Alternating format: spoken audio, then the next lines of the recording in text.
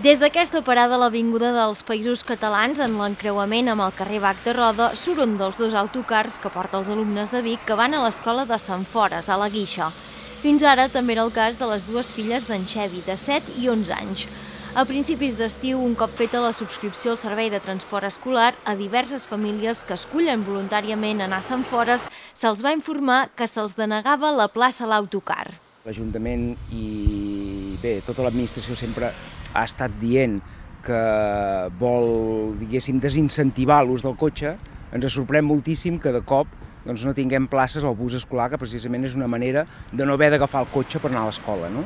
I llavors també suposo que hi ha casos de gent que simplement no pot anar eh, a portar els, el, la mainada a l'escola. Una situació que afecta com a mínim a 7 o 8 famílies de Vic que s'han vist sense lloc a l'autocar per portar els seus fills a l'escola. Si no es trobés solució, en Xevi li tocaria agafar el cotxe i fer el trajecte fins a la guixa cada dia.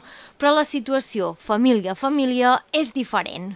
De fet, s'està parlant d'organitzar-se amb, amb cotxes particulars o alguna cosa de gent que no hi pot anar de cap manera o fins i tot hi ha gent que està pensant doncs, eh, deixar la plaça a l'escola Sant Fores perquè serà impossible que hi puguin anar.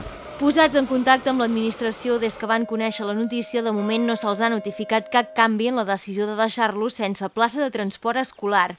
Cada dia que passa és un dia menys per l'inici del curs i la incertesa de les famílies és evident. Queden dues setmanes per l'inici del curs i no tenim notícies, llavors estem una mica preocupats.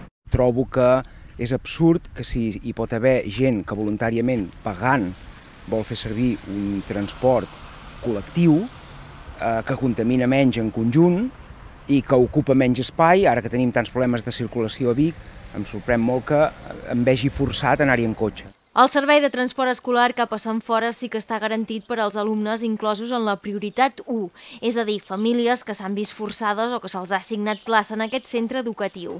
Abans del 9 de setembre, tothom espera que s'hagi pogut arribar a una solució.